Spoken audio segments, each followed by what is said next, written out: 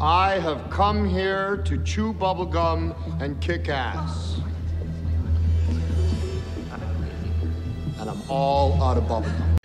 Quem conhece o canal sabe que eu respeito e muito conteúdo autoral, e ainda mais conteúdo autoral brasileiro. Então, quando eu indico uma coisa, é porque, meu, eu gostei muito e eu acho que merece o nosso apoio. Por isso, se você gosta de ficção científica, tipo distópica, dá uma atenção para a websérie Rua 8, que está no canal do Fictopia Brasil. Cara, totalmente independente, conteúdo autoral, história que se passa no Brasil depois de uma terceira guerra mundial. Vai lá no Fictopia Brasil, vamos dar uma força. Conteúdo autoral brasileiro merece ser respeitado e principalmente enaltecido. Vai lá, se inscreve no canal. Fala pessoal, Leonardo voltando com mais um vídeo. E meu irmão, o barato não tá fácil não.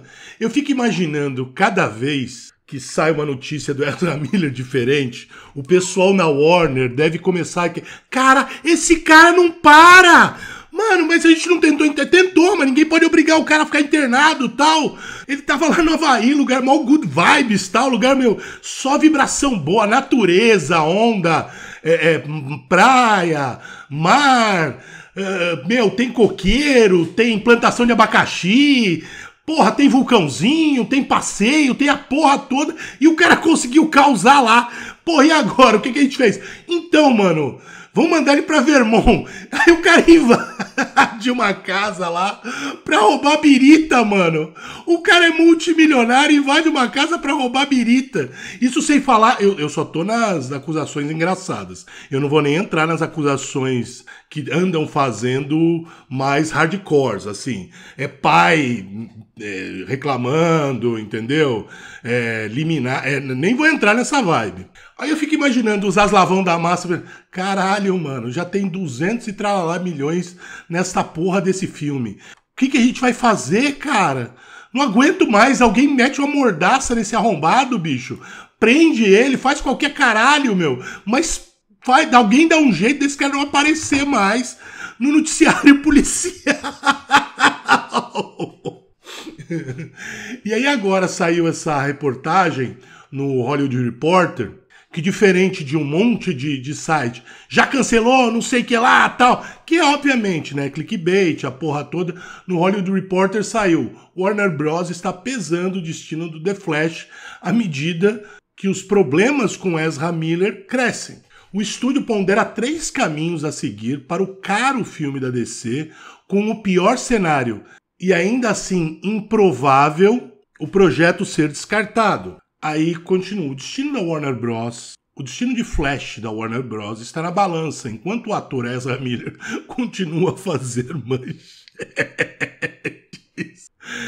Por seu comportamento controverso e várias prisões. Cancelar Definitivamente o filme não está fora da mesa, embora seja o último recurso. De novo, o filme custou. Não foi 90 milhões. E assim, eles não vão ter isenção de impostos e tudo mais. O filme custou caro pra caralho, bicho.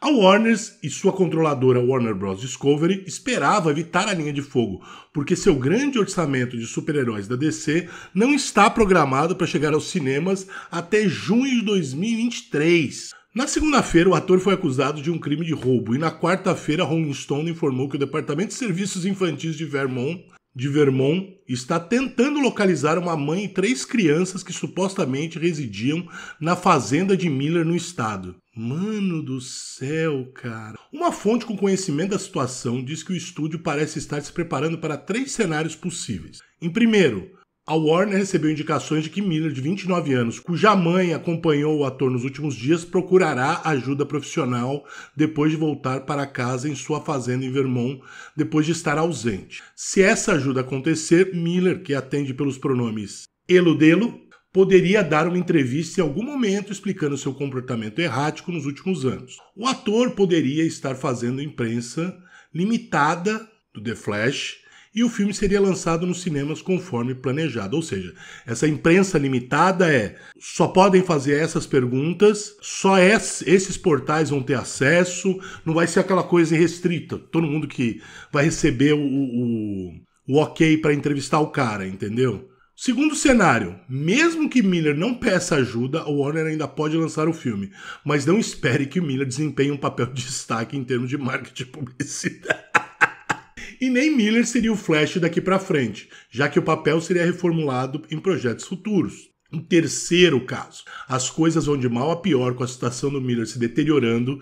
Isso veria Warner matando o filme imediatamente, pois não poderia ser refilmado com um ator diferente. Miller interpreta vários personagens e ele está em quase todas as cenas. Descartar um filme de 200 milhões de dólares seria um movimento sem precedentes. O de 90 milhões já foi, né? Sem precedentes. Tudo isso ocorre em meio a mudanças da Warner. No início do mês, o CEO da Warner Discovery Zaslavão da Massa surpreendeu Hollywood ao arquivar Batgirl, que custou 90 milhões e foi feito para HBO Max. Ao contrário de The Flash, não houve controvérsia individual envolvida. Em vez disso, Zaslav optou por reduzir os impostos do projeto e se afastar de fazer filmes de streaming para DC. E não só isso, os testes também mostraram que o pessoal odiou o filme. Ia ser um, um, um, novo Birds of Prey da vida, um novo Arlequina e Birds of Prey. Miller foi escalado como Flash em 2014, mesmo ano em que o filme solo do Flash foi anunciado. O processo de desenvolvimento tem sido longo, com vários diretores indo e vindo ao longo dos anos, até que Andy Muschietti finalmente tirou o projeto do papel. O filme também é estrelado por Michael Keaton e Ben Affleck. Miller começou seu tempo como Flash com participações especiais em Batman vs Superman e O Esquadrão Suicida, ambos lançados em 2016, antes de ter o papel principal na Liga da Justiça um ano depois. O Flash é um filme chave para Warner, pois espera-se que trace um novo curso para o universo estendido. O filme está testando bem, mesmo com os problemas legais de Miller aumentando. No início dessa semana. Meu Deus do céu. Cara do céu, bicho! Que porra é essa, mano? E o pior, os test screenings desse filme não tem um, um, que fala que o test screening desse vídeo tá, desse filme tá ruim. Todos mostram que não, o negócio tá totalmente excelente, bicho. O negocinho tá bom, o pessoal tá gostando do, do filme. E estão fazendo repetidos test screenings, né? No início dessa semana surgiu a notícia de que ele foi acusado de roubo por supostamente roubar garrafas de, de birita de uma casa em Vermont. De acordo com o relatório policial publicado online, a Polícia Estadual de Vermont foi notificada em 1 de maio de um possível roubo quando moradores de Country Road, em Stamford, relataram que várias garrafas de birita foram retiradas de dentro da residência enquanto os proprietários não estavam presentes. Após uma investigação que incluiu declarações e análises de vídeo de segurança, a polícia encontrou uma causa provável para acusar Miller. Será que foi o Jim Carrey que prendeu ele? O eu, eu mesmo e Irene lá? A acusação mais recente ocorre depois de Miller, que foi preso no Havaí e atua, autuado por suspeita de agressão de segundo grau, de acordo com o Departamento de Polícia do Havaí. O incidente teria ocorrido quando Miller estava participando de uma reunião em uma residência particular e ficou irado depois de ser convidado a sair e supostamente jogou uma cadeira atingindo uma mulher na testa. E isso aconteceu depois de um incidente num, num karaokê lá no Havaí também, que ele começou a, a, a dar, dar piti. Pelo menos um projeto já se distanciou de Miller na terça-feira. Na terça-feira, o Salvador Dali, o filme biográfico do Salvador Dali, deixou Miller de fora de seu comunicado de imprensa e um anúncio sobre a estreia no Festival de Toronto o ator interpreta uma versão jovem do artista no projeto, estrelado por Ben Kingsley como uma versão mais velha. Será que o Leguizamo tá lá fazendo campanha por um, um inglês está interpretando o espanhol Salvador Dali? Um, um meu, é, é cara, está falando de um latino. Salvador Dali é espanhol, ele é latino. Como assim o Ben Kingsley está interpretando o latino? Já teve um, um comunicado do Leguizamo? Cusão, vagabundo.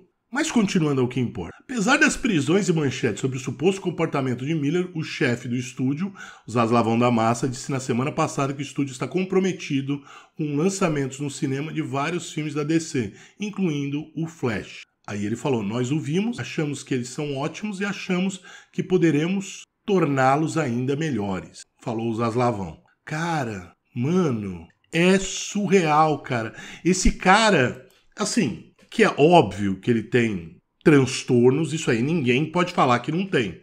É que muita gente passa passa a mãozinha na cabeça porque ele é eludelo e tudo mais e blá blá blá. Assim como tem um monte de gente que acusa o cara porque ele é elo delo, então ele é maligno e tudo mais. Na verdade, por mais engraçado que seja as notícias, o cara dando piti, o cara roubando birita, o cara jogando cadeira, o cara entrando na casa dos outros no meio da noite. E, meu, acabam sendo engraçadas. O cara, obviamente, tem problemas sérios psicológicos. E, mano, e aquela coisa também, ninguém pode obrigar a ninguém a procurar ajuda, a menos que ele se torne um verdadeiro perigo ou para si ou para as pessoas ao redor, que aí é por ordem judicial e tudo mais. E eu duvido que também a família faça um negócio desse por conta de todo o marketing negativo, que aí vai ser muito pior, né? Mas se ele procurar ajuda por livre e espontânea vontade, aí é a primeira opção que, se a, se a família convenceu, acho que vai ser a mais provável mesmo. Porque se o filme tá indo tão bem assim, eu acho que a terceira opção ela tá muito fora da mesa. Um, por conta do reboot, que eles vão aproveitar esse filme para fazer esse novo planejamento. Dois, o dinheiro investido é muito alto. E três, as pessoas estão gostando do filme. As pessoas que assistiram estão gostando. Diferente do caso da Batgirl, que era um filme para HBO Max, custou 90. É, é dinheiro, é dinheiro. Custou 90 milhões. Já, eles já eles analisaram certamente filmes similares a Batgirl, como o Arlequina, que mal se pagou não conseguiu se pagar o filme. Que não conseguiu se pagar o filme. Então, né?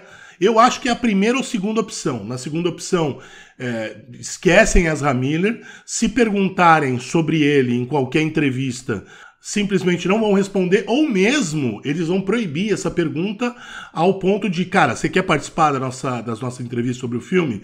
Não vai falar sobre Ezra Miller. Ponto. Se falar, a entrevista acaba imediatamente. E aí, meu, a gente põe num blacklist aí nervoso também. E aí eu, eu acho que vai ser primeira ou segunda opção.